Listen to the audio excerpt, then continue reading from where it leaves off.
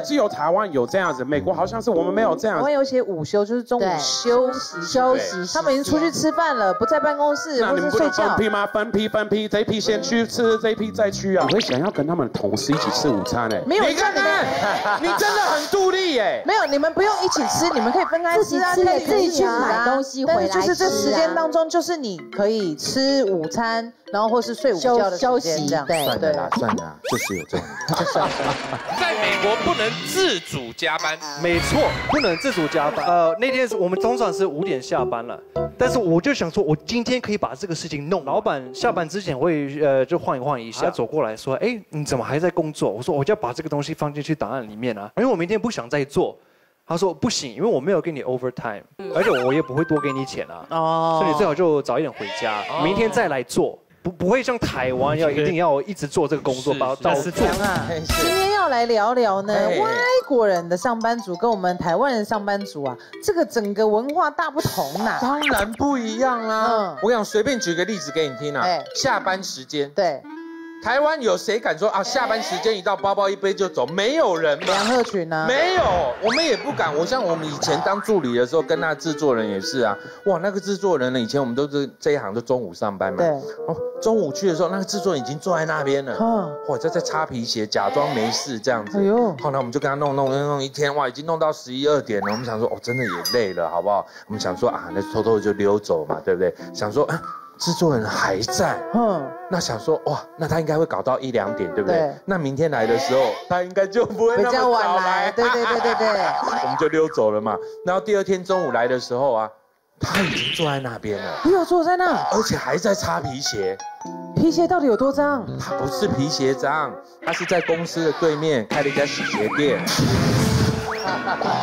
这么的没回家。这么的勤奋，没有，你看，就是我们这边的文化就是这样啊，对不对？哦，像像你啊，也是啊，哎。就尽忠职守嘛。对对对。有时候录影录到九点啊，大家就拍拍屁股就走了，他不是，嗯，他不肯走，为什么？啊，？因为他就坐下来染头发，因为呢，他就强迫发型师帮他染头发。没有没有没有没有，是给他一个练习的机会。他还需要练习，在那边不是嘛？他来了都来了嘛，对不对？那当然是弄完再回去啦，对不对？你你讲这话，你良心不会痛吗？啊，好痛！好啊，好，我是萌学员的学员，你是萌学园的社工，什么社工？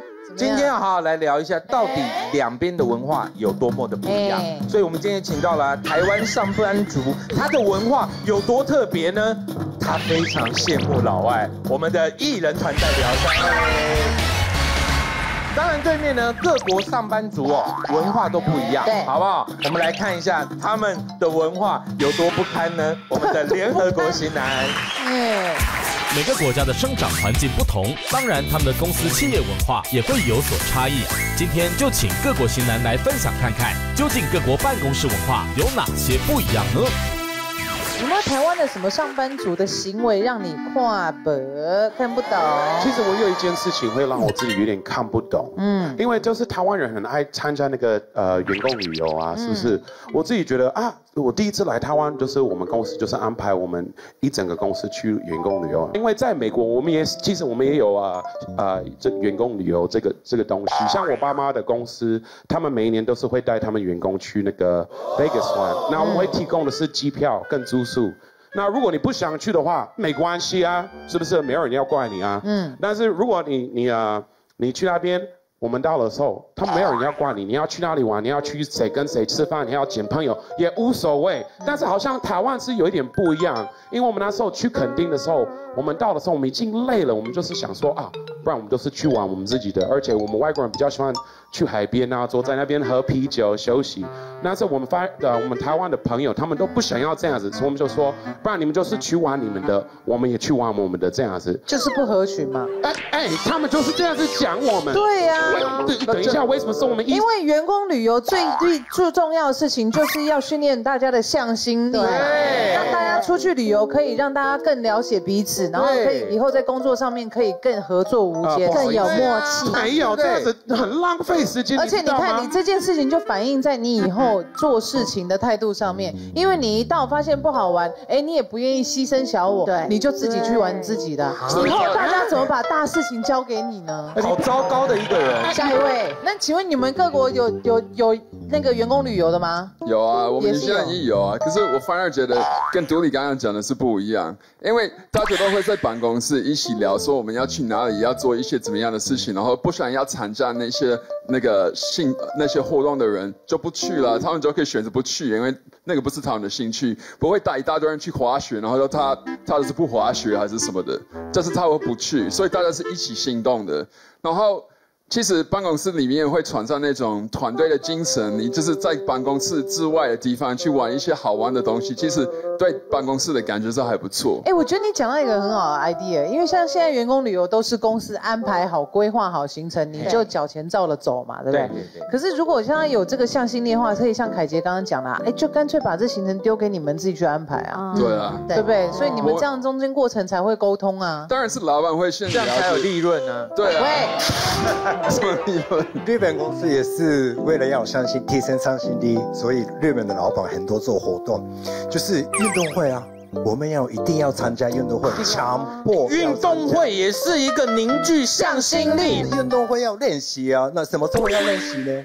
下班之后要练习，对啊，还有周末的时候，礼拜六、礼拜天的时候要练习。对啊，对，上班明明就很累，真还要做运动呢，接力赛啊，或是两连三角之类的，累死了。其实现在台湾有很多公司啊，那个尾牙有没有？春酒有没有？员工也是要分组表演啊，对也是下班留下来练习啊，对呀。对对翻过来，我觉得是台湾当上班族其实真蛮辛苦的啦，因为在工作的时候那种压力比较大，然后其实台湾人很爱约别人出去办公室之外，就是例如说大家都下班了嘛，然后一起去吃一个饭。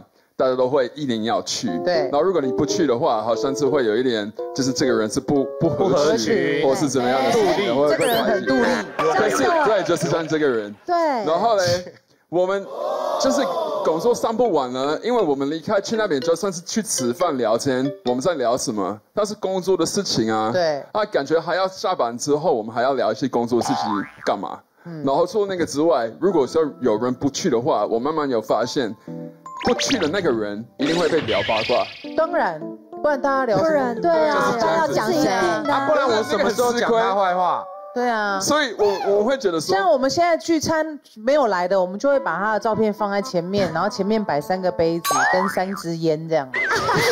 对啊，这个压力很大 因为就算你没有办法去的话，你就知道今天我一定会被聊八卦，我一定要想办法去。对啊。就像有一次我们也是聚在那边，然后没有去的那个女生，她来我们的办公室没有多久了，然后他其实那天晚上大家是闲聊嘛，后来就是开始聊到这个女生会不来，就说哦，她一定是跟老板是有一腿啊，然后一定是小三，一定是被包养，然后隔天早上每个人进去办公室是嗨嗨之类的，就装傻，好像没事。那你有怎么样吗？我没有怎么样啊，因为我学乖了，我就去了，一定要去。你是装傻对。而且其实我觉得像刚就像杜丽一样，美国人不太合群，那种美商公司的人，我妹他们就说，他们就说中午休息两个小时，然后大家就是会聚餐，中午一定会一起去外面吃饭。可是有可能有时候聚餐的时候，不见得真的是在谈公事，也会聊天聊聊聊。可是但一个小时，美国人就会说。我要回去休息了，因为我剩下一个小时可以休息，我一定要休息，一定要啊因为我这样下午才能再继续工作。可是大家聊得正开心，他就哦，对不起，时间到，我要先走了。喂，哦有这个有什么不好啊？不止美国人呢、我认识的有一个叫刘真丽的，她也是吃饭吃一吃，要说，哎，我时间到，我去打麻将了，就走了。哎，那不一样，那打麻将跟那个工作是不一样的。那 这种就是就是台湾嘛，因为虽然台湾有很多的这种上班文文化是我也是很不太懂的啦，但是尤其是这个，就是因为有一次我老我老婆以前她是也是上班族嘛，然后那时候就是有一次的中午，我就想说，哎那买个甜点啊，买一点饮料，我就过去去找她嘛，因为午休嘛。那我我就是很奇怪，因为我打打电话给我老婆，她没有接，然后好，那我就说啊，那我就打给她公司，然后就很就很凶的一个人了，就是说现在午休时间，你一点半后再打来。然后我就觉得，嗯，我都马上想要，就是，可是他已经挂了电话，然后就是，哎，对不起，对不起，然后哎，已经挂了，然后觉得很奇怪啊，因为。跟跟午休时间不是还是上班时间，还是公司有开吗？因为如果是瑞典啊，或我现在是很多其他国家，算是午休的时间，还是可以打电话，因为你们还是在上班，公司有开。没有没有没有没有，午休就是大家休息休息啊，而且很多公司的总机是你十二点到一点半打电话过去，他会跟你讲说啊，现在正值午午休时间，对，请一点半以后再来电，就没了，就挂掉了，语音会直接对啊，但是这个只有台湾有这样子，美国好像是我们没有这样子啊。一样啊，你们下班五点零一就没人啦。那是下班之后，但是公司八点，但早上八点开。八点到五点都没有，对啊，都没有关过啊，所以它叫午休啊。你们没有写午休啊？台湾有写午休，就是中午休息休息。他们已经出去吃饭了，不在办公室，不是睡觉。分批吗？分批分批，这批先去吃，这批再去啊。谁愿意肚子饿？对啊，美国才这样了。对，真的，真的只有美国是这样。真的只有美国才这样。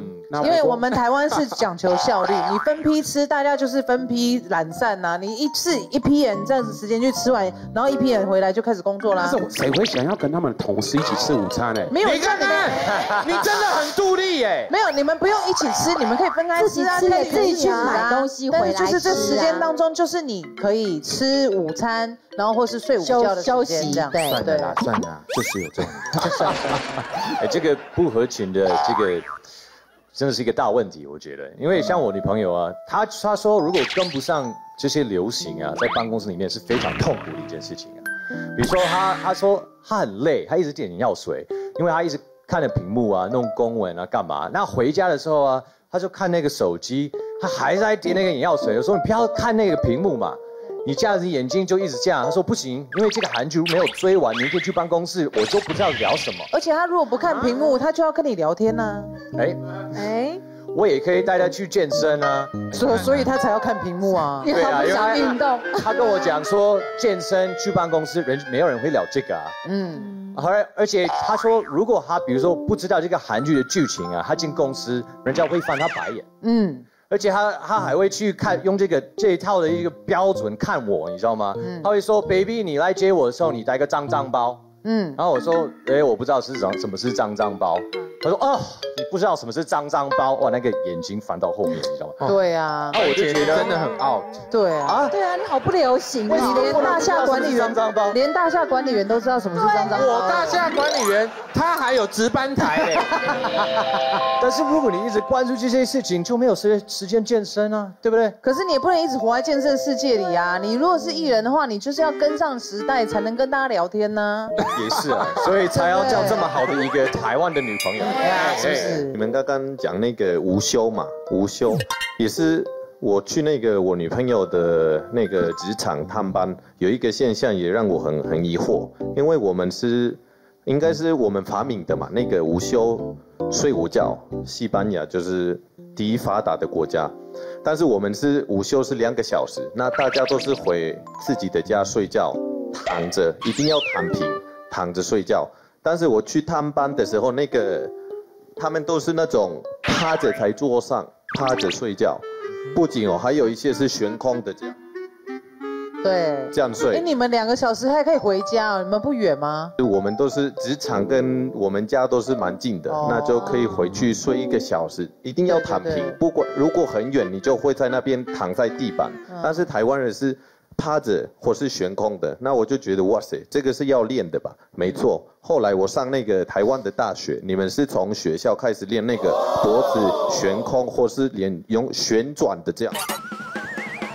这个会撩子的叫，对啊，那厉害，这个不简单。我很我很不喜欢人家这样子趴着睡觉，哎，特别是如果你要一起跟他用同一个桌子之类的，那起来的时候有有一大堆口水在。在桌子上，然后你觉得啊，我下次要坐那里，我有点不敢。不是我，我发现台湾人真的非常厉害。像我之前在我家里装潢，然后我请那个两个木工，然后他们也是有一个小时的休息的时间，然后我那边也是完全乱七八糟之类的，他们还可以把那个什么聚财变成一个床，然后还可以睡在那边就可以睡死，可以睡死一个小时，然后就醒来就继续工作啊。我我最不懂台湾的文呃台湾的办公室的文化是包红白包，红白包。你说，因为我开始台湾的在在台湾上班的时候，每个礼拜有遇到什么有人结婚生小孩，呃有家人过世，每次要准备呃钱，然后每个人要准备差不多一千一千两千块。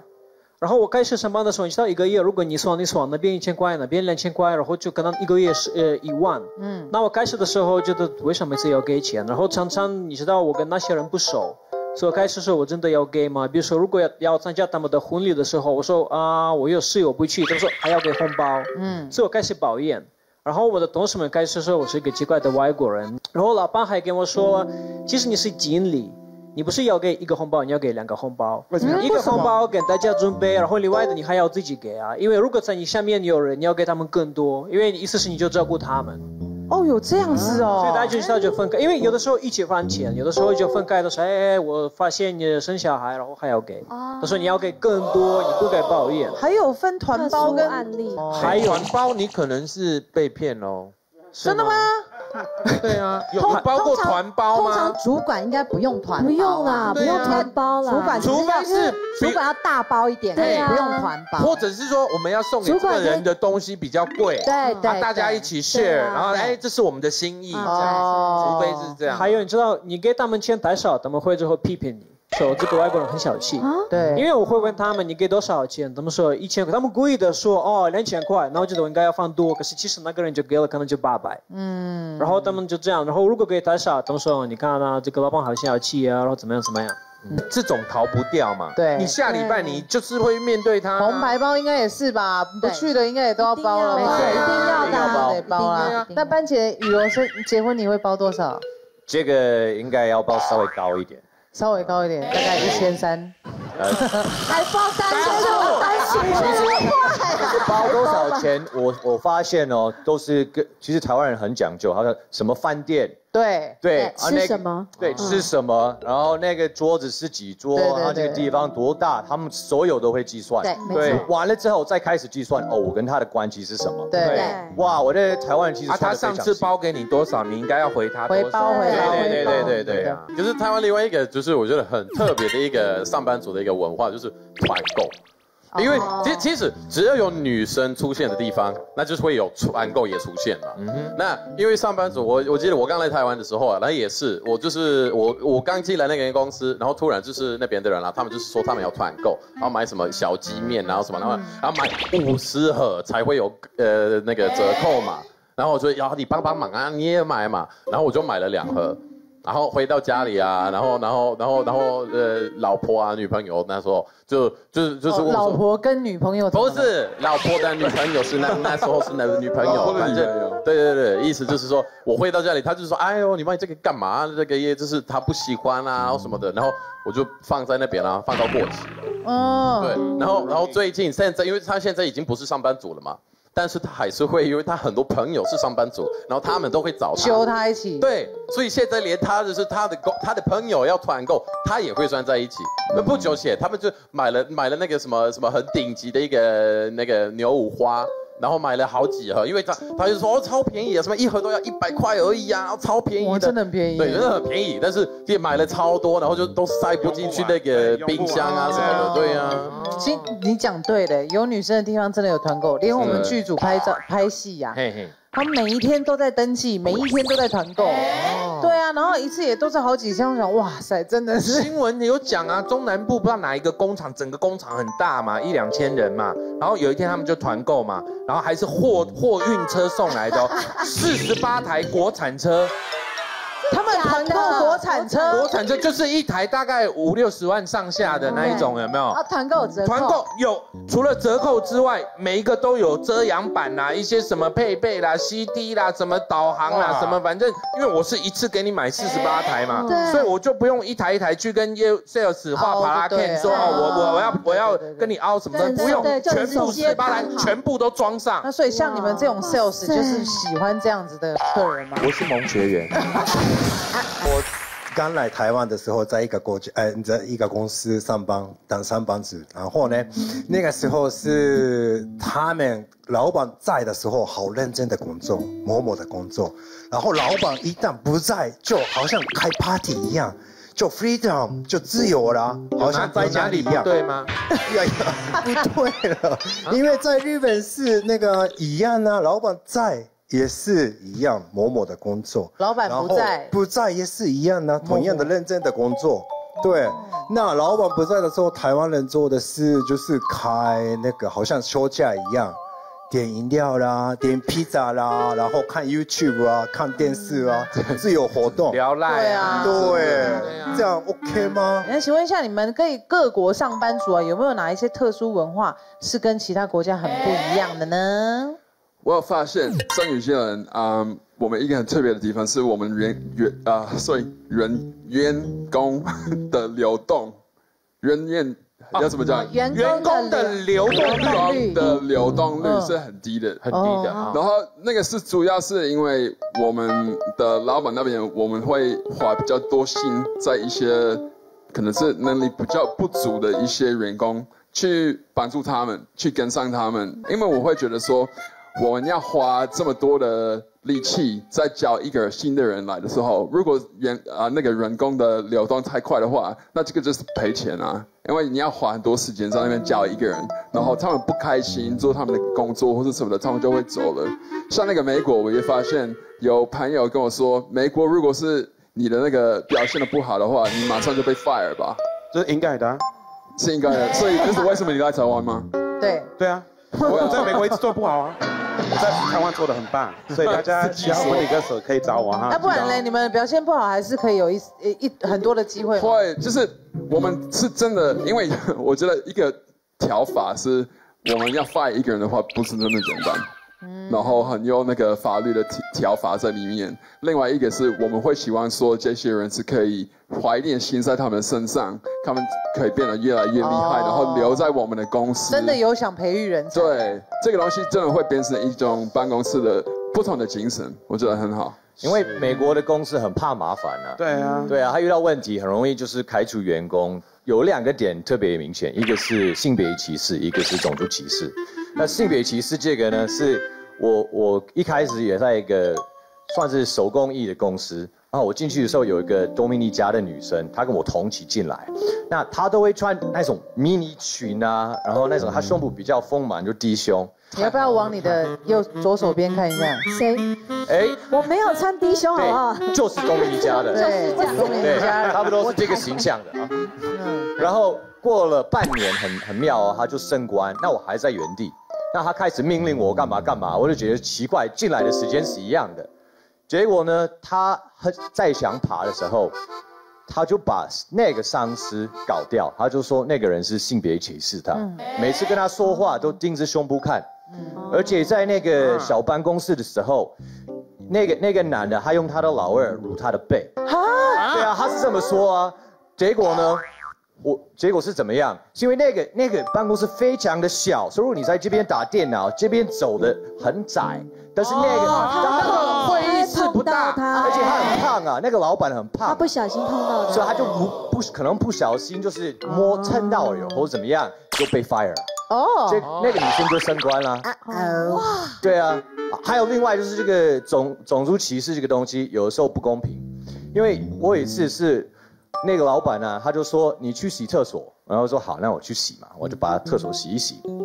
然后下一次有一个后辈，就是后面后面加入的，我想说下一次洗厕所应该是他，但是因为那个是黑人，那个老板就说我不能叫他做。我说为什么？因为那个是种族歧视。对，这个很夸张。那我是有华人血统，为什么你可以叫我做，不能叫他做？都在抱怨说当黑人好像是比较吃亏，可是现在真的比较，大家都是害怕。小心，对啊，你们现在其实最优势的。但是你这样子讲，我们美国其实我们有很多好的地方。有吗？有啊，我们很爱我们家人，而且我们很开放啊。所以为什么你在台湾，你的家人在美国？我也很爱，我 哎，我也很爱我家人。不要这样，好不好？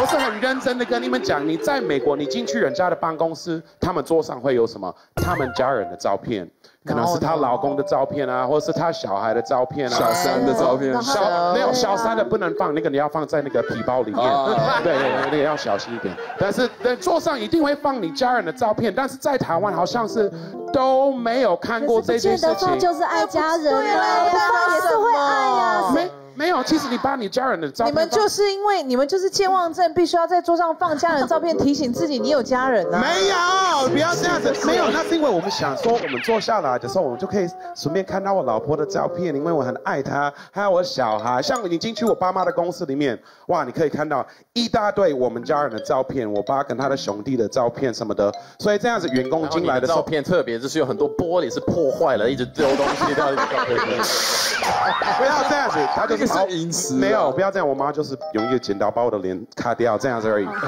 没有，不要这样子，好不好？我当然你会觉得，就是你一进去我们公司，你知道你啊，这是一个家庭的感觉啊。所有员工就是我们家之一，而且这样子也比较好聊天啊，也不用特别问到什么，啊，你结婚了吗？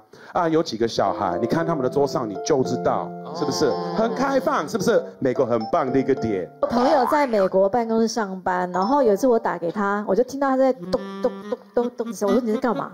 他说我在上班，我上班怎么会有那个球的声音？他说我在打桌球。我说你上班怎么打桌球啊？他们那个办公室里面旁边就放了一个桌球桌子，然后他们老板就希望说他们在呃工作的时候可以放松，就是打桌球。然后，而且因为他们说打桌球还可以呃专注注意力集中，帮助他们就是上班的那个精神更好这样子，所以他们就旁边放一个桌球台在这边打这样子。好酷哦！对啊，其实还蛮好的啊，而就是可以且健身。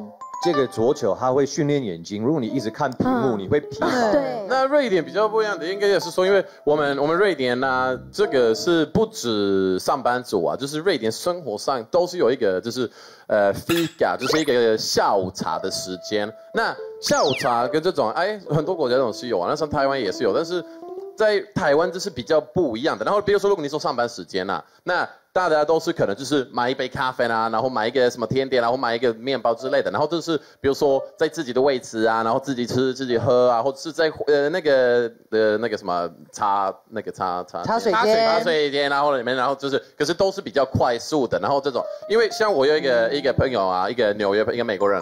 他住在纽约，然后他本来他他就是说他都是这样子，每一天就比如说上班时间就买一杯咖啡，然后慢就是很快速的在喝啊，然后就是下午时间也是一样啊。后来他到了一个瑞典公司，然后发现就是我们的这个，因为这个是有两一一天至少是有两三次，我们可能就是哎你来上班，呃八点。然后大概九点多，哎，有半小时的这个下午下午茶时间，然后再再来就是午休嘛，然后午休后者可能大概两三点了，也是要再来一次的这个下午早上那已经算早餐了吧？不是早餐的，它就是下午，因为你已经吃了早餐才来上班。那因为这个我们我们都是会，就是因为你有比较多的时间，然后大家都一定就是一起啊，然后我们卖了一些什么蛋糕啊，一些什么甜点啊，然后一些面包啊，然后。呃，就是自己泡咖啡，然后做的就是比较比较丰富一点，然后就是坐在那边，然后慢慢的喝啊，慢慢聊天，慢慢的享受这个。然后他也是说，哎，房子说这个其实是比午休还有对公司的一个效率，因为一直就是这样子，一个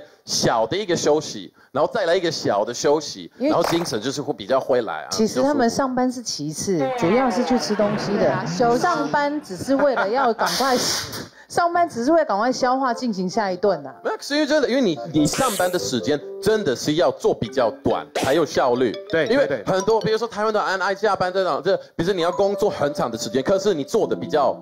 没有百分之百的这种效率啊！你这样子，你有一点休息时间啊，回来好可以 go go go，然后就是做的很好，然后哦开始累了要拖一点时间，哎休息一下，然后再来再来再来，这样子效率会比较好。你说那个叫什么 fika？Fika 对，但是美国也有这个，我们叫做 coffee break 啊。对啊，可是对啊，就是 coffee break，就是可能要休息十五分钟可。是你们只有一次嘛？没有啊，你可以有有两个 coffee break，对啊，哦然后中放放午餐的时间留有。OK。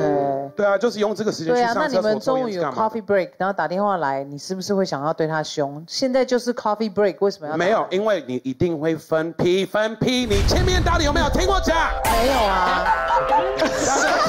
但是 coffee break 要分批啊。OK。那乌港的上班族，特别女生装得很专业、很漂亮，那边有没有照片？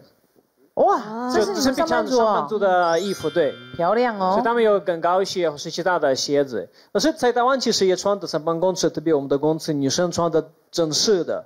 但是呢，进来公司的你知道，他们就换拖鞋。嗯啊。所以有一天我们有一个很大的客人要进来我们的公司，然后跟大家说了，我们开会的时候请你们呢穿呢正式一点，然后就要好的鞋子、好的衣服。他们说好。那我先跟客人进来，然后我的秘书来了。你少爷穿拖鞋，然后就看他，啊，然后助理来了，说你们要不要泡咖啡？也穿拖鞋，我就想我这个两个女生得去外面骂他们，因为已经说了要穿好一点的。对啊。然后呢，像我的老板跟几个同事们进来也穿拖鞋。嗯。然后那边大家都穿拖鞋，因为我也发现美国人也会看他们，因为像我们都穿西装啊跟鞋子，很奇怪。但是其他的同事们都穿拖鞋。嗯，然后我们就谈生意的时候，那个公司就看他们觉得你们是不是大的公司嘛？因为就感觉大家就穿你们公司没有很正式啊，我们拖鞋为了今天都新买的耶，不是这种正式。但是你们公司是买拖鞋。可是上班族带一个拖鞋去办公室换很正常。他们都会放在底下。对，什么不对？但是开会的时候你还是要穿正式一点的，对不对？开会的时候，特别他可能要开会还是要换一下，或开完会再回来再换掉嘛。因为很多国外的客人来这边觉得这是你知道爸爸妈妈。他们的工资是大的工资，因为我们的工资比较大，然后他们看大家穿随便，他们也觉得要给他们的我们的案子嘛，或是就这样，所以之后他们间你知道变来变去之后是没有，只是有台湾的文化。那其他国家会吗？就是上班族日本人不可能拖鞋，不可能吗？对，因为上班族就是要要皮鞋，一定要皮鞋。嗯，然后上面也是西装，下面是那个呃皮鞋。是，然后好像是拖鞋的话，好那个台湾的黑道。嗯，有没有？上班是？对对，流氓一样，就是西装很帅很帅，但是很帅帅帅，下面哎为什么拖鞋这样？哦，就是黑道的身份是这样。所以你想跟我们台湾黑道说什么？很帅啊，很帅，很帅啊，对。啊。哎，这是他回答你最快的对。对。对。对。对。对。其他嘞会上班族会这样吗？穿拖鞋去？穿拖鞋有吗？你西班牙是没在上班嘛？但是少数的人在上班都还是有规定，有那个就是西装嘛，或是一个正式的制服，有有有。我也在台湾的的公公司上班，那他他觉得唯一就是他绝不懂为什么台湾的那个 OL 上班都不化妆，有吗？都有吧？很多，他们他们公司女生早上去的时候都是素颜，真的，然后就开始有时候下午的时候就开始敷脸。啊，就是例如说会自己敷一些眼袋啊，他是在试新的产品，就那也很奇怪啊，他就觉得很不懂啊，然后他就会，他就每天就跟他们讲说，哎，拜托你们化个妆好不好？因为就是还是在办公室里面，大家还是会外外面的人还是会进来嘛，那厂商还是会看到啊。对。然后就有一天，他们他们从来都不化妆，后来有一天就是那个他们美国的那个大老板要来，然后听说很帅，结果呢，他们每个人就化妆。我老公一进去，想说，哎，他是走错地方吗？就是每个女生都长得不一样哦，都不一样，因为他从来没有看过他们化妆的样子。当然啦，因为大老板来，大家都想要当老板娘。对。本来穿高领的都把它剪开，穿洋装，穿很漂亮，像 model 一样，全妆这样子。对啊。他都以为他他他以为他走错地方。对呀，她老公还一直叫，哎，秘书秘书秘书，就坐在他前面。好像礼貌的方面，西班牙也是跟别的国家的文化就是完全相反的。我们是觉得那个你对上司越没礼貌，我们就越喜欢你，就是对，因为我们有一个不成文的一个规定是说不可以狗腿，那就是说你对上司越骂得越凶，我们觉得你越酷。例如说啊。之前我有一个一个同事嘛，他发现我呃那个老板发现他在那个仓库睡觉，那那个老板就开始骂你怎么敢这样偷懒，你的同事这么辛苦，那就骂回去，他就骂回去说，那你呢？你怎么敢讲话？你胖的跟猪一样，一直在吃东西，然后只会出一张嘴。你们可以这样骂老板？那时候我们都那个气氛就是大家都想要拍手的那种，哇，变成一个就是我们劳工阶级的一个英雄。一个革命家，这些话小杨哥只敢在心里讲哎。对啊，对啊，这是西班牙的。他不会被不后来那个人呢？那个人怎么样了？就变成被老板很尊敬的一个革命家。老板假的，信，这么厉害，还把他留在公司。那他老板会不会因为这样子更不敢 fire 他？嗯，是不敢，而且会开始帮忙，就是已经不敢只只出一张嘴，他就会出手帮忙员工了。他就是一个让我们工作条件变好的一个，他反而点醒了那个老板啊。因为他们不鼓励狗腿啊。嗯不可以狗腿。哎，我感我们觉得老板就肤浅，所以大家对他很怕，他们就很快会说啊，糟了，我就走了。所以你知道，在乌克兰有人会拍马屁，可是有一点不一样的拍马屁，因为乌克兰的老板就有助理，助理的工作就帮他泡咖啡、准备东西、帮他卖东西。可是其他的拍马屁是什么？比如说我去旅行，然后就买小的礼物给老板，然后老板会看。所以大家会做，可是台湾的拍马屁有点不一样，你知道很多小小的事情，因为老板可能大老板没有助理，所以大家就啊，老板我要去 seven eleven，你要不要喝咖啡？我帮你买啊。然后有人去说啊，老板我最近做蛋糕，你要不要吃啊？然后其他的还哦，我这边有红酒什么的什么的，就这样子很多小的事情，所以太太明显了。因为在乌克兰我们比较低调，我们会跟老板就没有人看到，可是在台湾感觉大家就知道比赛，算比赛，对不就对？感觉就比赛，你知道很多小小的事情。是哦，太妙了。而且不是啊，因为你看，比如说你你这样做了，我想说，哎，那我是不是也这样做？对，哎，因为前天珍妮姐也这样做，嗯所以就就有一个同才效应，大家都跟着这样做啊。对但是我觉得有一些人真的是太刻意，我就是刻意到我自己觉得台湾好假，你不觉得吗？因为美国我们当然是要尊重老板啊，当然，但是。尊重是互相，老板也要尊重我们，是不是？但是有一些人太假啊，老板好，今天好吗？或者是干嘛？就是我发现啊啊，观众好，就是一直这样子，然后我就觉得这种到底什么意思？有点太刻意貌啊啊！没有人说老板早啊，哎哎，那这太假了吧？就是说哎早，这样这样子就可以的啊。怎怎么了吗？那日本人不是都一直这样子？对啊，日本所以你们好假，没有习惯的了，这个我们的习惯了，一个习惯就是很假，是不是？是吗？那是但是有人就是我们搞勒手啊九十度的鞠对啊对这有什么老板找？这样因为从小到大这样的习惯长大了呢。要不然你看不惯，你也可以讲老板早。有人这样，法师啊，对啊，而且我跟你讲，不止打招呼，回话也很重要。对，怎么样跟老板回话，这个太重要了。那比方说，老板讲话的时候，哎，博文老板讲话一下，啊，呃，老板最近我知道很忙，很多工作，一直加班，然后去年结婚了，今年生小孩，所以我觉得我的薪水太低了，啊，太所以可不可以加薪一点？嗨，日本人会这样子，嗨嗨嗨的意思是不是点头啊？但是不是 say yes，就是我在听话，同我在听。那然后嘞，那对对对，因为你怕礼貌，那你一定要 嗨嗨有嗨到一个 ending 吧？那 没有一直一直嗨嗨嗨嗨嗨嗨的下去。那你之后会帮他加薪吗？不会，他讲半天在干什么？因为没有白爱就不习惯了。比方说那台湾的例子，呃，那博远老板你好，呃，老板你好，最近我很忙，我一直加班，很多工作，然后去年结婚了，生小孩，又生了哈。哦这样子哈。反应很冷淡的呢，真的真的要回答什么很冷淡。那有一次啊，开会我们是有日本人一半，然后台湾人一半。日本人这边是很会反应，就是那个打招呼，哎，对，嗨嗨，老板讲话的时候一直这样这样这样这样。那台湾人是没有呢，完全不一样。我比较想知道，当杜丽碰到嗨嗨 嗨的日本老板的时候会哦怎，么样？我就很简单，如果老板一直跟我说嗨嗨，然后我就跟他说拜拜拜拜拜拜拜拜拜拜，这样可以吗？那请问一下，哪些事情是全世界办公室的上班族都会做的呢？就是八卦哦，就是一定会聊一些八卦的，因为有时候不管我们在纽西兰还是什么国家，我们当当然会有一些我们工作上的一些委屈嘛，可能是被老板碎碎念，还是可能是没有解答好好一个案子，有时候需要有那一两分钟离开一下办公室的桌子，去外面还是去那个耍呃茶水区聊一下天，这样子万恶的茶水发泄一下嘛。可是像我们在纽西兰，我们啊、是被老板很尊重，我们也是很喜欢我们这样子的工作的一些文化，所以我们大概知道说聊到怎么样的程度才是 OK 的，我们不会待在那边可能是二十分钟还是什么的。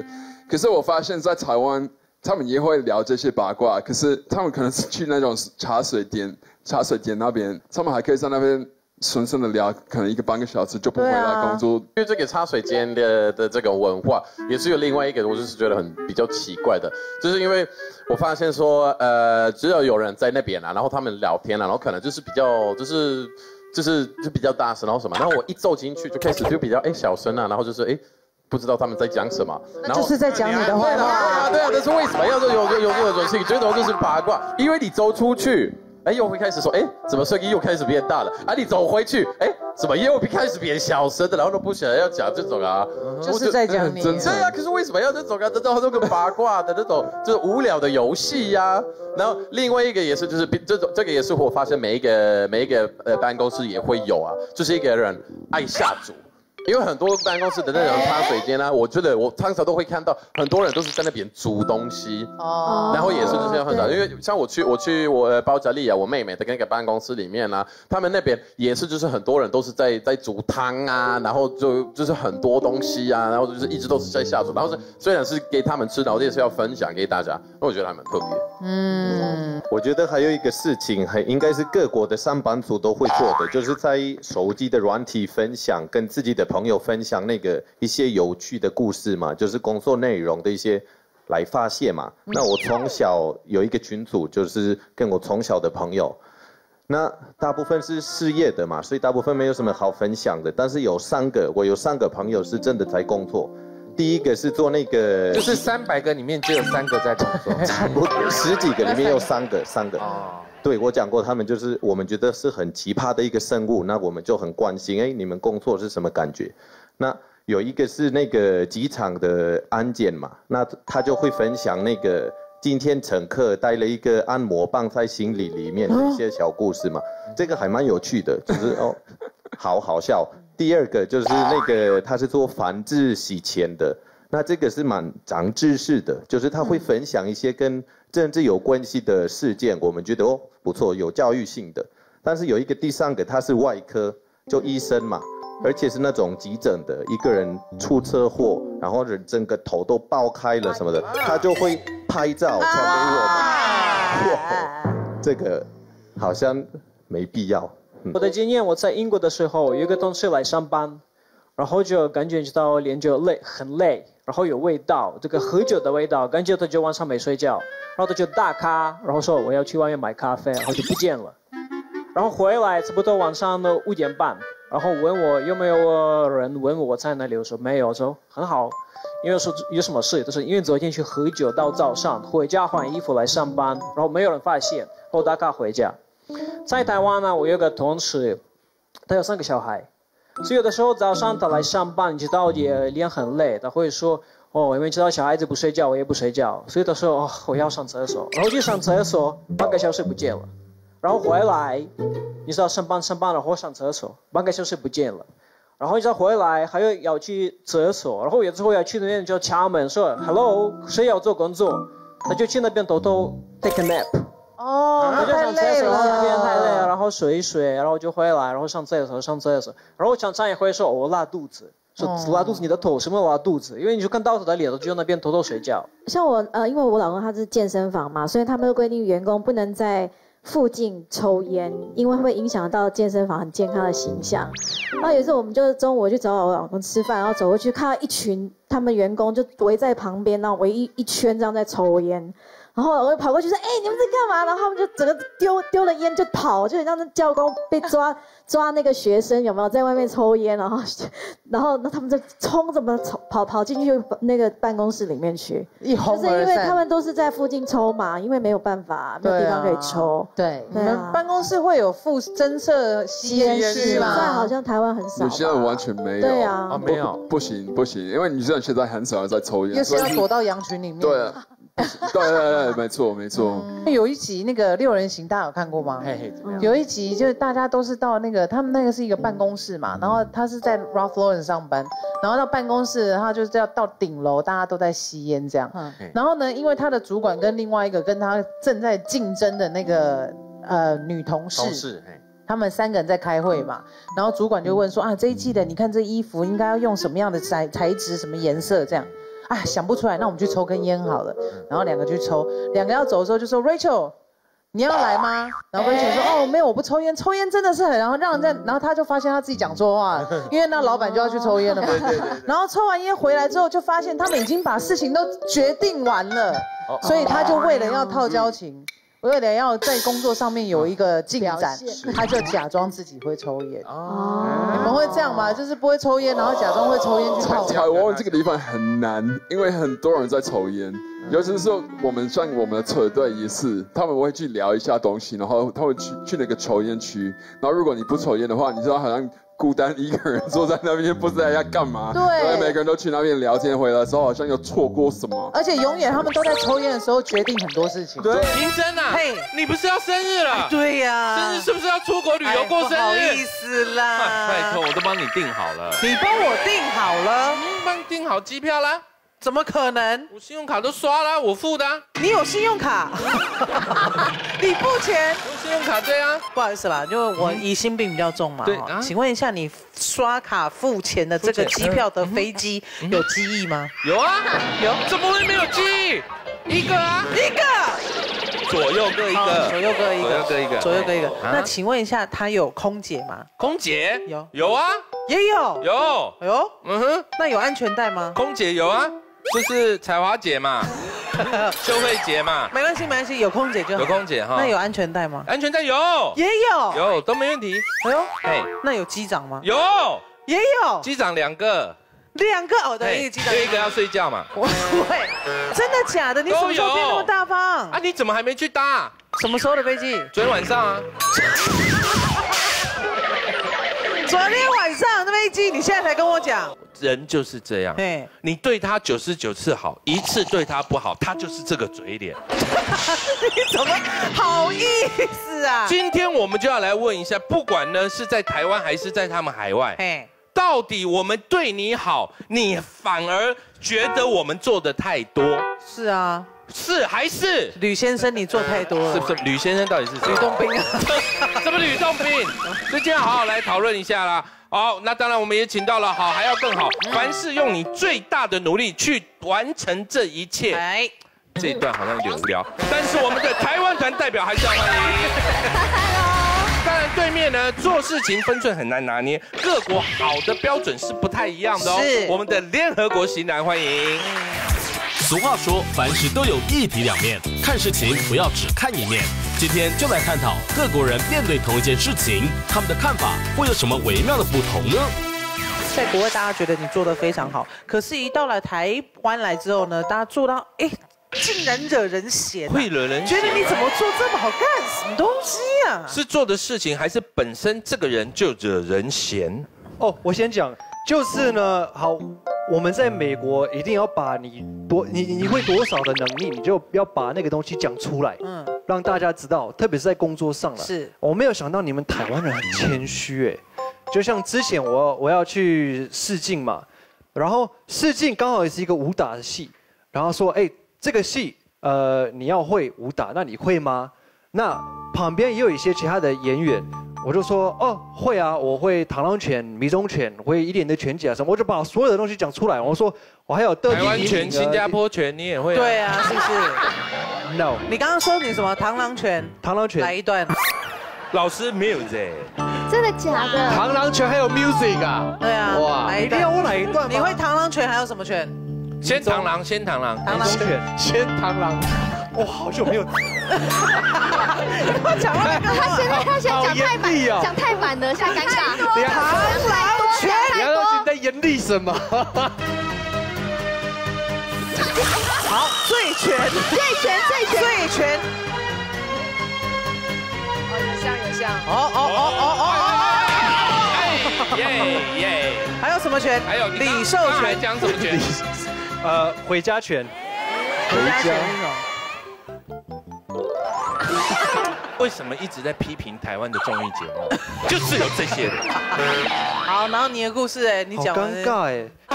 好，他刚刚就是在讲他的故事啊。好了，反正也要把这个东西讲出来，然后旁边其他的演员他听到这个东西，说你怎么怎么可以一直讲这种东西啊？然后我想说，反正我等到一个很好的角色，然后也是舞蹈。这样可以得到。到一个很好的角色。哎，不是刚刚怎么样？因为武打那个会剪掉，对不对？因为武打是对打，一个是叶问呢，一另外一个是被叶问打的人嘛，他就是被打的那个人啊。打的啊，我的角色确实被打，是，但是还是一个很好被打的角色。嗯哼，对，然后呃，就是我们在拍戏的时候，呃，其他被选上的演员，他也在讲我的坏话，跟剧组啊什么的，这个人好不谦虚啊，就很自以为啊，很骄傲啊什么的。我想说怎么可以这样？结果我就我就发现你们台湾人都喜欢很谦虚，所以到最后我就 OK 学会了。那下一次试镜的时候也是，他说那你呃这个可能要你会音乐啊，还是会那个功夫啊什么？你会吗？然后旁边的其他的演员，我现在跟他说。哦，其实还好了，还好了。但是我得第一名啊，第二名这些，我把它全部讲出来。可是我觉得外国人，尤其是对于美国人来说，感觉他们拆礼物这件事情，我比较不懂，是说拆礼物这件事情，感觉戏都要做的非常满、非常足。因为这个台湾人很少研究，对很少因为如果有人送礼物，我们在他的面前拆，爸爸妈妈会骂，对，会觉得说你没礼貌，没礼貌什么。对，拿到红包的时候也不能在别人面前对，会觉得那个为什么太太不礼貌没礼貌。我们从小就被这样教导。为什么不礼貌可是就像你刚刚那一套全的那么没礼貌。是谁 Q 我的？是谁说他会的？对，是谁说？你要想清楚，Andy，你还要给我打一次。你们为什么要跟固定来宾吵架？很奇怪。然后呢，我之前生日呢就办了一个生日 party，就有很多朋友来，但其中有一个比较特别，是我的美国朋友从美国飞来，而且他准备了一大包的礼物给我。那当然他来的时候我就很开心，跟他说 thank you，然后就收下来。就在我们吃饭的过程当中，他一而再再而三的一直问我说，哎，你要不要就是打开礼物啊什么之类。但是因为台对台湾人来说比较含蓄一些些，会觉得说，那那么多朋友送礼物，万一有的人送的价值比较高，有的人就是送那种很嫩，就会觉得不好意思。就是要给他难看呐、但是我就觉得不好意思，所以后来我就没有拆开礼物。但是事后，我的那个美国朋友去跟我朋友抱怨说，他觉得我非常没有礼貌，然后给他难看。真的。然后我就说为什么？他就说因为在我们美国就是要马上打开礼物，就说哇 surprise 什么，然后很开心啊，然后什么什么，然后我心想说戏真的要做这么足吗？不是不但是主啊，因为我觉得你有时候我送礼物给人家人，台湾人他们也是这样子，就是啊放着，然后谢谢，然后就不拆，然后我就会觉得我很没礼貌。哦真的吗嗯我会觉得非常没礼貌，因为那是我精心可能花了一个礼拜去挑的礼物，我就是想要看到你打开看到礼物的表情啊。可是如果打开之后并没有非常 surprise，还是要演很。你就是给我演哦。哇，surprise！真的一定要演吗？一定要演吗都没有长辈送你的礼物，你很不喜欢的吗？有，我之前阿姨每一年都会送一个很难看的毛衣，迷踪全谱。韩国就是去 KTV 嘛，就是一就只要唱歌就可以了，就是要唱歌满分。但在台湾只唱歌就会被骂。对啊因为我刚来台湾的时候就去西门潜规，而且跟韩国的 KTV 完全不一样，很豪华。我还以为我来错地方。以后我那时候一直唱歌，因为我都付付钱了嘛。韩国的韩国人去看唱 K 就是要唱歌，因为我一直点歌点歌点歌都没有跟他们说话，都没有跟他们吃饭。所以你真的以为你是去唱歌？对我自己在那边那个不是有那个荧幕嘛，一直切歌，又自己再唱下一首，又又切歌，就唱下一首，又每个人都在骂我。那你为什么不自己开包厢呢？太贵了，很不合哪有一个人去？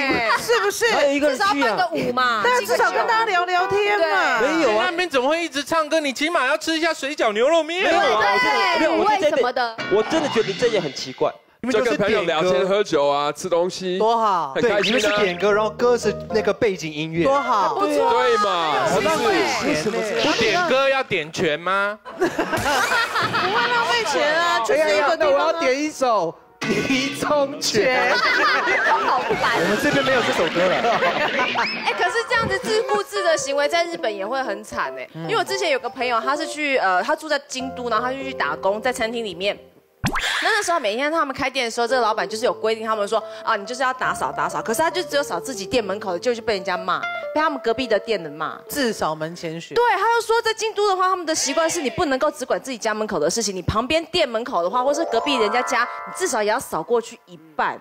所以他就想说，哦，把自己家的落叶跟垃圾扫过去的地方，不是，喂，然后再打开权，迷踪拳，迷踪拳。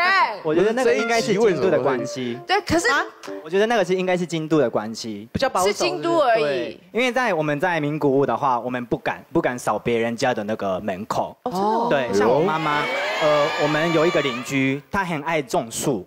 然后很多都是就是秋天的时候落叶，对，然后很多叶子在地上，然后妈妈觉得，哎，这样子好像是我们家的垃圾，然后因为被被风吹走，对，然后我妈妈说想很想扫，但是有点不敢，怕他会觉得，哎，我们嫌弃他们。还是什么？对对对对对，所以我妈妈半夜的时候就是偷偷去外面，然后帮他们半夜偷偷扫有比较好吗？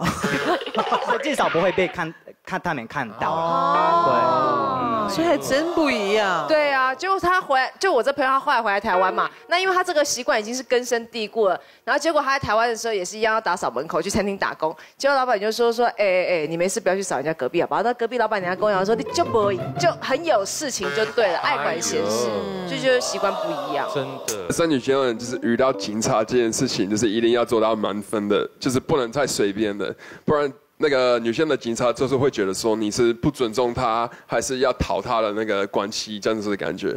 像有一次啊，我送滑雪回家，然后那时候天气很不好，我都没有手机，我父母在等我，所以我我有一个城镇城镇的时候，那个屋就没了，所以我开比较快，就被拦下来嘛。然后我一直在开始跟警察解释，就是说哦，我的驾照才拿了两个月，然后我父母在在家里等我之类的，然后就是表现很紧张，他还。不想离了，就是马上开一个七千七千多块台币的那个罚单。哇！所以那时候是蛮重的。那后来就是来台湾，我朋友说，反而在台湾你要跟警察好一点，你要跟他们聊天，才不会被砍的那么重。那我想说，真的吗？有一次我从那个桃园回家的时候，就是被拦下来，因为这样子是开太快。那呃，我就开始就说，诶。警察贝贝哦，真的很不好意思，因为我是老师在台湾，然后我有一个家教，我刚才下班，我赶车回家，然后真的不好意思，我没有发现我开太快，然后他说，哎，那个外国人在台湾中文怎么讲的那么好啊？从哪里来？我说从纽西兰来，然后他说，哎，纽西兰啊，我刚才从那边回来，跟我那个老婆在度蜜月了，然后就开始聊起来了，对啊，啊，到最后他就说，还好。好啦，下次就砍慢一点嘛，然后就软我走这样子。我台湾人就是见面三分情，这是那个人情味。对，台湾的那个警察的人情味真的是太好了。对对，我太太的好朋友，她是嫁给马来西亚人，然后他们到英国去生活。嗯，然后呢，就是他们在那边生呃结了婚，这个单身的时候在台湾生活还没有什么感觉，然后生了小孩回到台湾来之后呢，发现一个事情，就是台湾人呐，除非你是得绝症。不然呢？不管生什么样的病，都要上班上课。对，很多真的。对，那顶多啦，顶你生病了去上班上课，然后或者是搭乘交通工具，顶多是多戴一个口罩就搞定了。但是呢，这件事情会害到下一代，你知道为什么吗？为什么？因为如果爸爸妈妈就是生病了重感冒，都得去上班上课的话，他们的小孩不管是健康还是不健康，还是都得丢到幼稚园。哦，然后就会交叉传染，就会交交叉传染。像我儿子有时候呢，白天一大早送去学校的时候是健健康康的，回来上吐下泻，然后流鼻涕，快死掉，送急诊打点滴，然后我们就会去问老师说：“哎，学校到底是有什么可怕的病毒还是怎么样？”那老师就很很很有歉意，他说：“没有办法，因为呢，爸爸妈妈就算知道小朋友已经有点症状了，可是他们为了赶着上班。”他们还是要把小朋友送到幼稚园，送到托儿真的，你知道我我们去学校开那个家长日啊。你小孩还没上课，以后你就会发现，你会认识超多不同的病毒，非常多种疾病，非常多种。然后呢，我们去开家长日，老师就还特别交代的说，嗯，现在呢虽然功课压力很大，可是呢，如果家里小孩真的有不舒服，就帮他们请假，不用勉强来上课。对，所以你讲到弄到老师都要特别交代这件事情，你看这个有多严重？因为前一阵子他们这他们的学校有一个，我忘记是什么样的病毒，而且学校还因为这样子，有一些人就就走了，很严重哦，还不停课哎。我跟你说，诺罗就已经很严重了。诺罗是你吃诺罗吐什么出来？然后我女儿喝水，哇，直接过了十分钟之后，水重重新再回到地面上去，很严重哎、然后那时候他们，而且你知道那多可怕吗？他只要听到有一个人哪一班的，呃，有一个人感染了，然后生生病了，接下来啪啪啪啪啪，全部都开始了，就全部都感染，因为小孩子口罩根本戴不住啊。而且都会交叉，因为那很多是飞沫传染，就是你只要跟对方稍微靠近一点，就很有中招的机会。我们国外是一一点点小病你就不用去上学，干什么东西？不是，是不是？是不是只有螳螂你被吹走了是不是？请问一下，你们国家还有哪些事情？哎，反而不能做太好，做太好还可能是扣分的。我我在呃德国有呃一个人是一个人是亚洲人，就是一个他的他的小孩是亚洲人，所以嗯、他们我们亚洲人在德国很少，可是所以我们大部分的人在嗯、班上会很。不不会直接追求最好的成绩，可是那个人就是有父母的压压力。那比方说我们有数学课，那那个人就是可能有呃 A minus，嗯就可能有两个错，然后他就是很不开心。然后我们其他的学生就是，呃，你你为什么这个还要计较？他说这样子我一定要一百分，我父母才会开心。然后那很可怜，因为我们德国小孩就是觉得我们我们很看不起这种人，因为我们觉得书呆子没有朋友。不想社交，那我们还会欺负那个人，因为德国人会觉得，我觉得这是种族歧视吧，这跟他不是不是不是没有关系吧？因为德国人也会，也有一些德国人也会，可是亚洲人德国人对德国人也会也会，但是德国人比较没有这个问题，比较少。因为大部分的德国朋友就是觉得下课去玩就好了。可是那个亚洲小孩他还补习，可是德国人一般来讲是你快被当的时候才要补习。可是那个父母就觉得你要一百分，我一直送送你补习，有家教什么的。然后我觉得为什么你呢还要家教，然后还好像对老师一直拍马屁这个感觉。那我们德国德国人就觉得我们不应该跟老师讨好关系，可是他的父母就会那样子，所以我们就会欺负他这样子。所以德在德国你要。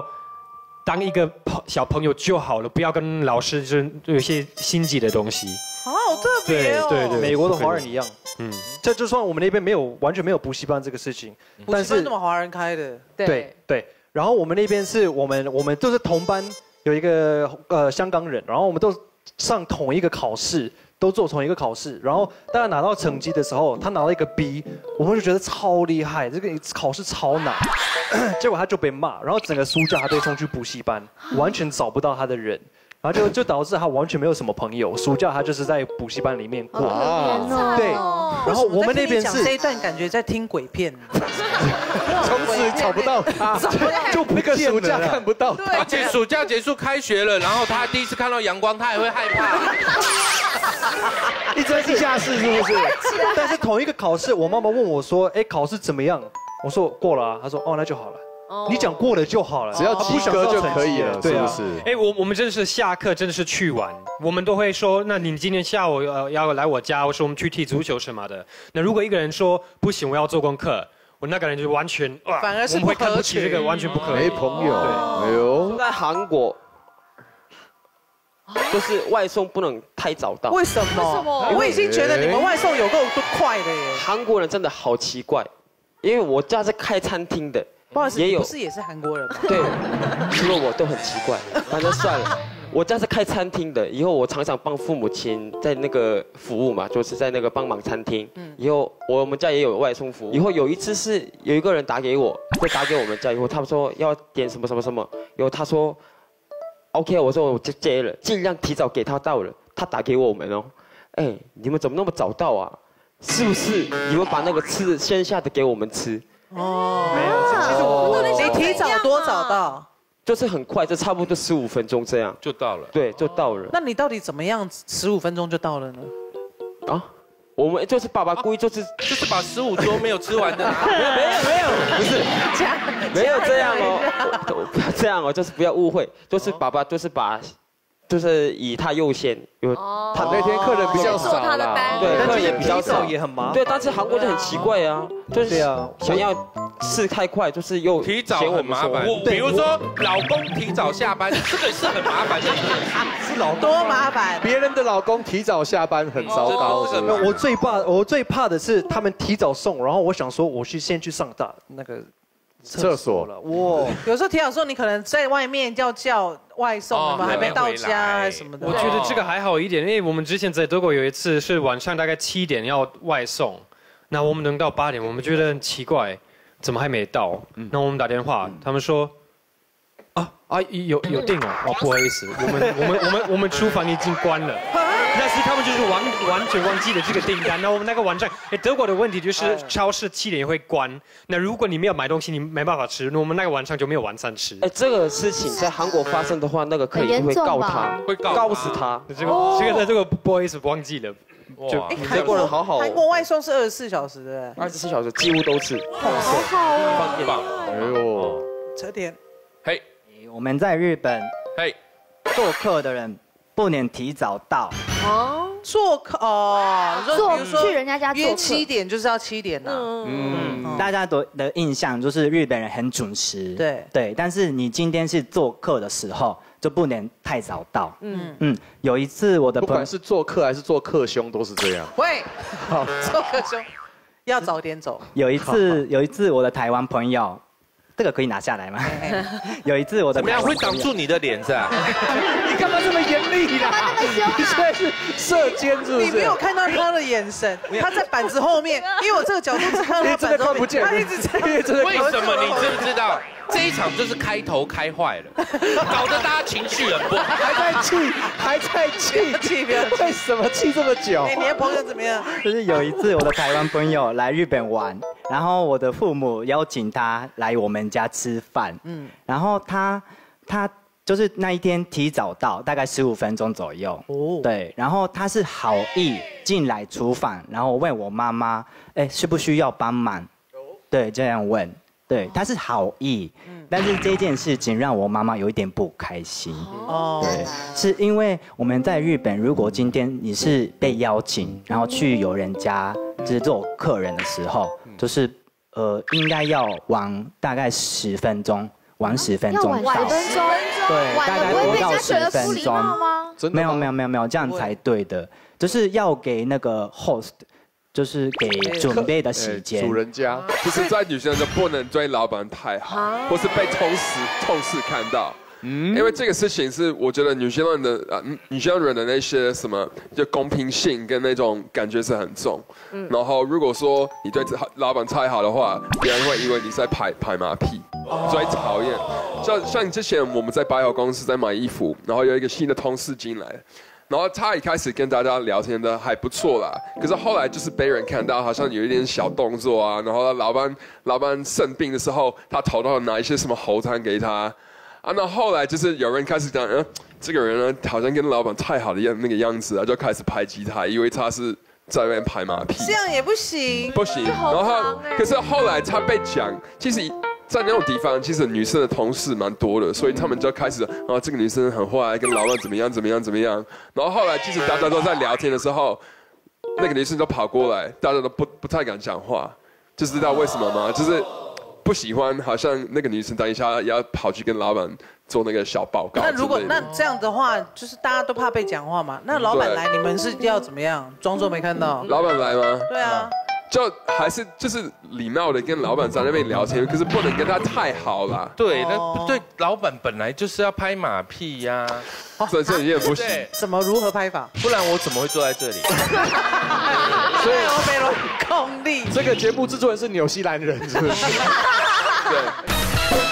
我朋友去纽西兰，就是有点像是，呃，以工换宿、换食宿这样去牧场。然后呢，他每天的工作大概就五个小时、六个小时，不长这样子。然后呢，有一天他觉得说，既然我到了人家这边来哦，然后他想要多做一点，看呢会不会有一些 bonus 之类的。所以呢，他就一天又多工作两个小时、三个小时。然后他就是连续三天都这样。他的老板他说，哎，有看在眼里，可能呢很快就会有一些好处了。结果哎，这他陪老板约谈。但是被老板约谈的原因是，老板跟他说：“你不要再加时工作了，你这样我觉得很为难。你到纽西兰来，应该出去，就是工作之余出去走一走、看一看，享受一下跟台湾不一样的那个人文啊、风情。”叫他不要多做这样子。哎，国外自己超时，比如说像这样，自己再加两个小时，老板会加薪吗？当然会啊，他不加的话可以搞他。我我做意大利，我不知道纽西兰。因为因为这个情况就是说。老板没有说，哎，今天很忙，也要在加班了，所以他在那边加班。啊，别的同事可能也会看到说，啊，为什么老板请他去加班？然后一一定加班一定有薪水嘛？是其他的同事一定是一定是这样子想啊。而且人人来人家来台湾这一次来工作，不不出去走走也不行。所以他们会有那个角度。纽西兰人就是心那个疑心病比较重。对呀。是怎么样？他们都想，哎，为什么不是我？对，嗯因为他们。那边人很少啦，对啊，年假比较多啦。意大利可以要求加班费，可以哦。那美国呢？美国是一老板一定要讲，如果不讲，他就不要你在下班的时候还在公司。所以如果老板没讲，然后你自己主动留下来加班是没有用的，没有用，完全没有用。在美国不能自主加班，没错，不能自主加班。他就是干嘛耍帅啊？他都这样子。迷踪拳，螳螂拳，真的好螳螂，好厉害哦！哇，好螳螂！哎，我们之前在呃，我之前在图书馆工作了，然后那时候呃，我很很忙的一个工作是要把一些树呃书，不是树还书也合理啊，四十四只树，四十四棵树。到底树还书？书加树有够数，结束了哈。好，就是我要把这些书收集，然后把它放进去呃档案里面，非常忙的一个工作了。然后 怎么听起来好像很很简单？好累，好累，好累，好累。很多书，你知道图书馆有多少的书吗？对对对，也有很多书。当然当然。对，因为书是树做的。对。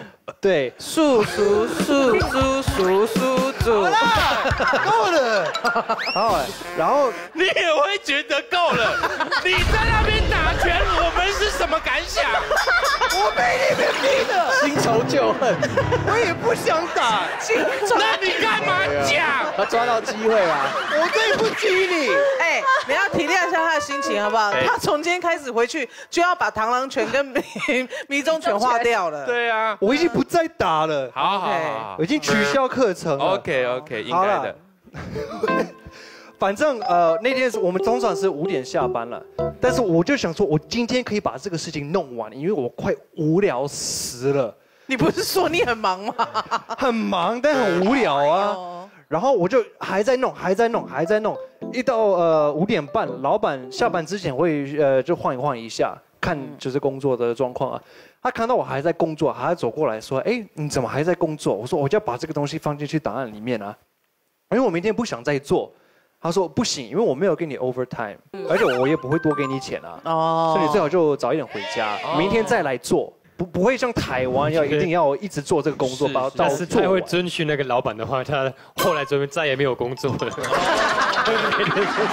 有工作，但是没有把事情做完。我觉得美国呢，他们不能够做的事情就是这样，绝对不能够礼貌过了头。哦，也是一个疑心病很重的族群。完全是，像刚刚一佩就有讲啊，他说如果你跟美国人交朋友，然后他送你礼物，你就立即打开干嘛的？可是我们的传统就是不是这样子教的，因为从小到大，尤其是女生，有很多的行为，爸爸妈妈都会交代好。这样子，那我有一个朋友，他是跟一个美国人，已经到那种论及婚嫁的地步，就对。那他说，他犹记得刚开始跟她男朋友交往的时候，第一次去美国见到他爸妈，他说啊，我们要有点规矩啊，女生啊，所以想说，那都是坐着当客人也不是办法，不然。吃完饭至少帮忙收碗盘好了，就他就把他碗盘拿起来，这样子收收收，然后拿到水槽里面去，就自己拿起菜瓜布要开始刷了。哦，男朋友妈妈当下脸就变了，可是一句话也没有再多讲，然后也没有阻止他，反正就在旁边这样子，好像全身很不舒服，一直瞪盯着那个呃我朋就我朋友看说你到底在干什么？结果晚上他们回去之后，她的男朋友就跟我朋友讲说，哎，你知道我妈妈很生气啊？她说。为什么我这样子做不好吗？我帮忙洗碗呢，不行吗？她说：“你知道吗？我妈妈讲，她说她是拿出家传的呃银叉子、银刀子，silverware，让他用。对，而且他那个盘子也是他们家传的，因为想说你们两个感情这么好，也许会走到未来。”做了大餐给你吃，你居然自己拿去洗，把这东西家传的宝物弄坏了怎么办？哦，也是。对，所以我们自己以为那种搞勒手很有礼貌，结果到美国人家家里面，人家讨厌死你。而且他们可能有洗碗机。也是，他们都用也是。而且讲真的，只有应该是只有在美国才会有那种什么，呃，有一套很好的一整套的家传家传的。这个人是哪里人？台湾人，女生是台湾人。啊，那这个男生呢？美国人。美国哪里？美国，你现在是算命师是不是？小嘴小嘴，你需要摸骨吗？真的有关的，Indiana 不是，他们那边有病哎，我跟你讲 哎。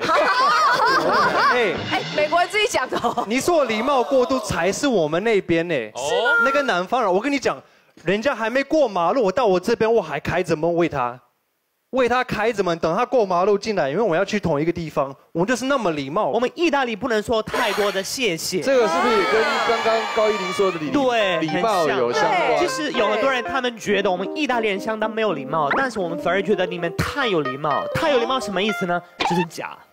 对我们来说，我有很多我有很多意大利朋友，他们来台湾，他们觉得呃台湾人都不懂把不好意思跟谢谢一直挂在嘴边，对不对？那我们。不太理解你，一整天一天到晚二十四个小时，可能说一百遍的谢谢，哪一次是真心的？每一次啊，不 可能。真的。例如说，例如说，我要到台北林，也不知道怎么走。我问路，我不知道你是谁嘛？我说，哎，小姐，不好意思，那个到台北林怎么走？不不不不不，我说什么？谢谢。好，那你可以说什么？你可以说不客气。可是台湾很少说不会。OK。还有另外一个可能性，你也说谢谢，有没有发现？就是台湾说哦谢谢，那你也会说哦谢谢。我们不懂得 why 是我请你帮忙，你我们谢谢你信任我们，是这个意思吗？我们去跟人家买东西，人家找钱给我们，我们也是说谢谢啊。你们去意大利的话，你们不要就是说太多次的。Thank you, grazie，因为我们会觉得你很假这样子。哎，我们不谢谢你，你也不要觉得我们没有礼貌。哎，那我们从小就是请谢谢对不起。对，我们从小就是情理法。那我们要怎么样在意大利表现自己？就不要说谢谢的话，要怎么样表达自己的？妈妈咪呀，什么啦？我我们要怎么讲谢？我们要怎么表达谢意啊？在意大利，我们讲日文好了，他们会说阿里嘎多，对不对？好，这个不是意大利文的谢谢，阿里嘎多ございます， 也不是。意大利文的谢谢，但是如果他们说 “Marco Tony”，阿里嘎多ございます，就我非常诚实的、诚信的感谢你。如果你中文会这样说，那你就可以说意大利文的谢谢。那如果我们你今天来跟我买冰淇淋，然后我冰淇淋拿给你，你会说什么吗？ 就走啊，吃啊。他就这样子。谢谢你的光顾，这样子也不讲。没有。可是如果有人送餐来，已经放在桌上一颗牛排，然后那个服务生送来，你也不用说谢谢。为什么说谢谢？我今天付钱。是你服务，这个我觉得是你们国家的问题，这是你们国家的问题。你要说谢谢吗？请问一下，除了意大利，刚才我们上述的情形，你们国家会说谢谢吗？会啊，会，一定会。会嘛？对啊。连德国人那么那么不客气的民族，不是那个很干吗？有人给你一个东西，然后里面有花奖，真的很奇怪啊。对啊，直接拿就很。哎，你你你都那么啰嗦都不累，一切谁会累吗？我觉得。哎，我觉得这个有中，这个有中。如果在加拿大真的不能客气过了头，我觉得可能也跟那个我家的大爷说，我们台湾人太有礼貌也有关系。因为我之前去加拿大，然后游学就是。呃，住在 homestay，然后住了三个月的时间。然后去的第一天，那个我后妈就人很客气，就跟我说，因为他们家都有很多小孩，然后就说，那如果是这样的话，他给我一间独立的房间，然后在门口放了一个洗衣篮，就告诉我说，你每一天晚上就是把你呃换洗过的衣服就丢在那个洗衣篮，我帮你洗完之后帮你折好，然后放到你的房间。那我就会觉得。我妈妈从小教就会觉得说这样真的很麻烦，别人太拍谁，而且还有一些私人的内衣裤什么的，我就跟她说哦，私人内衣裤也拿出来洗衣所以我就说不 OK 啊。然后晚上轰爸就在那边，不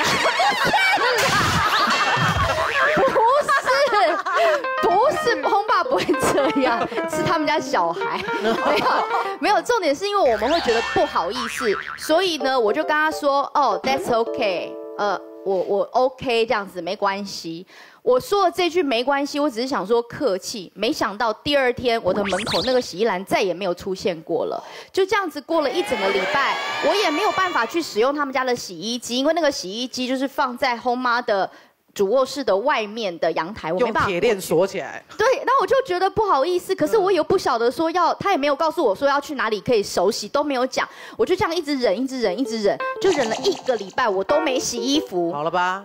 对，然后我就自己觉得自找罪受，然后一个礼拜兴奋啦，不是这么累积一个礼拜一个一个礼拜过后，在吃饭的过程当中，后妈就问我，很客气问我说：“哎，你们台湾，因为她说她没来过台湾，她说你们台湾的天气是。”以干燥吗？还是潮湿？我说蛮潮湿的。他说哦，那你们台湾人都平常每天都洗澡吗？我说每天洗澡。啊，那没有每天洗衣服吗？我说也每天洗衣服。他就说那你为什么都没有洗衣服？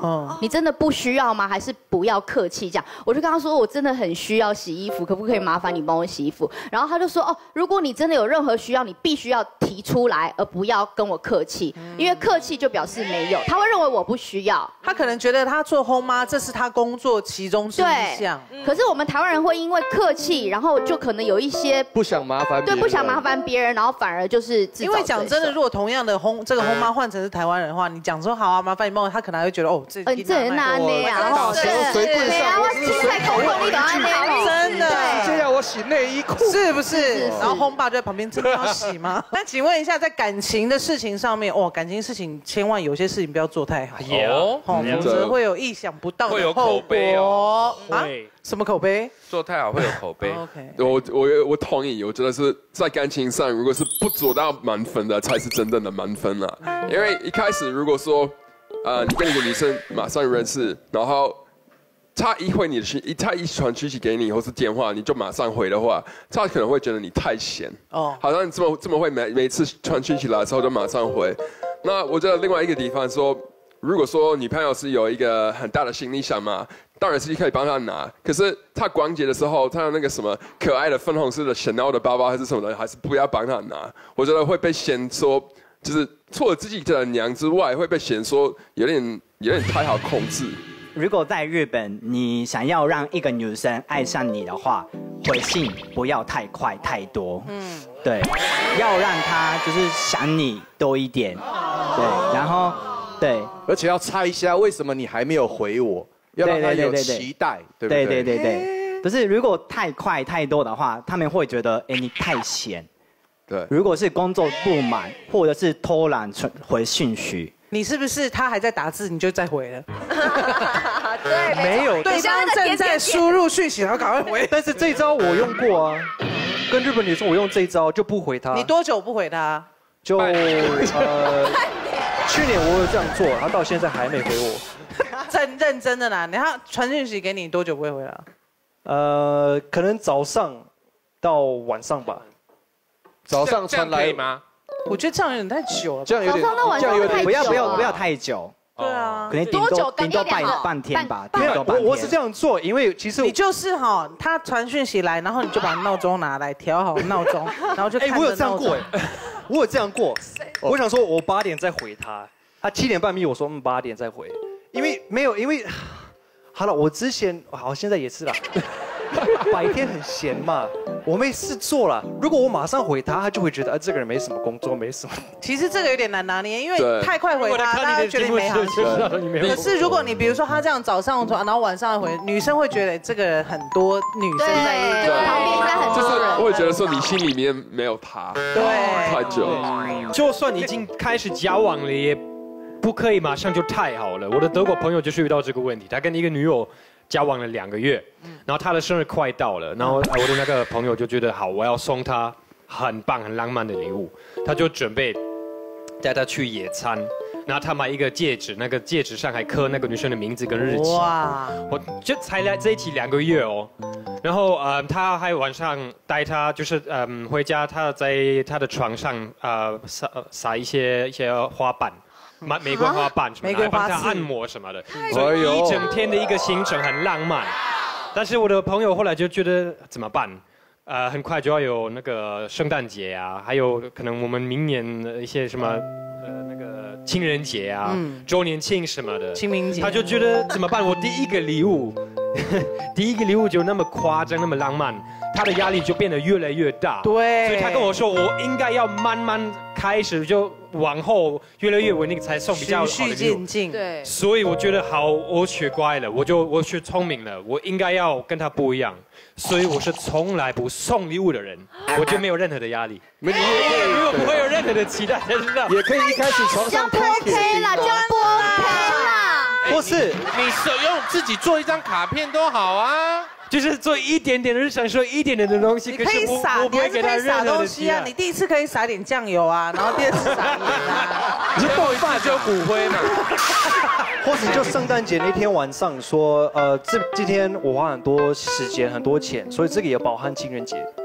哪有人这样讲？一点都不 浪漫的。没有了，我觉得如果天生浪漫，他就会一直制造浪漫。对可是如果你是为了追女生，你第一次就做这样的，你真的后面会想没招，太苦我也是会会很累。我今天要破个迷思，就是我们意大利刻板印象中的白马王子，他只不过就是一出演给外国人看的一出戏而已。哦对什么意思呢？比如说，呃，那个车子到了，你帮他开那个车门，或者说每一次约会你送玫瑰花给他，或者说你到了那个他的房子楼下，你就抱他上去等等。抱他上去？对啊，就是在为什么你自己这么怀疑这件事情，小郑？不是啊，那他上在台湾就只有新娘。没有没有，好，等一下那天，没有，他现在说的是我们看戏里面，戏里面不是有很多对对对对对对对浪漫的桥段，那是从意大利的情圣而衍生出所以，来所以的。其实意大利根本不会看到这个画面呢、因为没有人这样做。我告我破个迷思，意大利女人喜欢台客的意大利版，就是说越凶越猛，越粗鲁越好。哦我举个例子好了，你们知道那个《Bachelor》这个节目吗？嗯意大利也有，就是意大利版。然后呢，昨天刚好有一个女人，她在抱怨她的另一半已经过了，她说已经过了三天还没有把我 push 到那个墙壁上跟我接吻啊。然后大家都骂她，因为其实她那个另一半是一个非常 gentleman 的人，真的是就是那种你们可能说白马王子这样子。然后他说不行啊，就是男人，他说该有男人的样子。他就是跟很多意意大利女人像的一模一样。所以我就是说，如果你真的可能就是 Mountain 哥，如果你要去意大利把妹的话，你不要太 gentleman 太浪漫。啊，你知道他结婚的这件事？我知道没关系，反正去意大利的话，意大利人又不知道，对对对，根本 不要到处讲，哎呀，是不是？老婆搞不好不会跟他去。那如果要包美的话，真的不要过度浪漫，要把握，就是要好好的拿捏。要这个是 man。我觉得那个女朋友嘛，就是刚热恋期的时候不能做的太好，嗯因为你第一次热恋期做的好的话，你要做一辈子。因为像我爸爸也是一样，就是热恋期的时候帮妈妈洗衣服，到现在还是他洗衣服。很好哦。啊，我觉得不好啊。为什么？他说啊我觉得不好啊，因为我觉得哦我之前就是我，其实我做家事做得很好，因为是有爸爸的 DNA。哦以后我洗碗都很好，以后女朋友就一直跟我说，哎，你做的很好，你比我做的还好，所以是以后就靠你了。对啊，真的。还没讲完，以后我就就是想那个聪明一点，有故意洗碗的时候故意弄破一个碗，以后就哎呀不好意思，我弄破了一个碗，有就选一个最便宜的，因为那都是我买的嘛，嗯对，所以要选最便宜的。有女友女友就嫌我说，哎，下次算了，我自己做好了，男生做做事情就这样，嗯，对。那你现在在电视上面讲这一招，不是就破局了吗？已经破了，已经破了。帮我那个片，把头变掉是不是？马赛克，卡卡掉，卡掉，卡掉，剪掉，剪掉。没有了，这个已经来不及了，因为呢，就是女生在做这件事情上面比我们男生厉害很多。像我昨天、前天，我要找一只池汤匙，然后呢，因为我们家有两只，所以我想，哎，奇怪，有一只我太太在用，另外一只我怎么找不到？我就说，哎，汤匙呢？我太太说，哦，不好意思，因为我把它摔破了。哦，对，所以这如果是这样子的故事呢，就会促使男生以后愿意自己去洗碗。就是大家刚刚都是在说谈恋爱的时候或是交往的时候不要做太多，我反而是觉得，如果这一段感情没办法走到最后，我觉得分手也要分得很漂亮，也不能做的过多，因为之前分手的时候可能。呃，我应该是比较理性的人，我就会希望说对方能够知道说，哎，为什么我们没有到走到最后？可能我都会说，呃，可能我们彼此相处的模式啊，可能不不 OK。那我们可能你做那个东西，我可能也不，然后我做的东西可能你也不喜欢。结果我发现讲太多之后，反而以后会撕破脸，然后以及永远没办法跟对方连基本的朋友都无法当。Hello，大家好，喜欢我们的节目吗？按下铃铛，订阅我们的二分之一讲 YouTube 频道，最新影片随你看，精彩内容不漏接。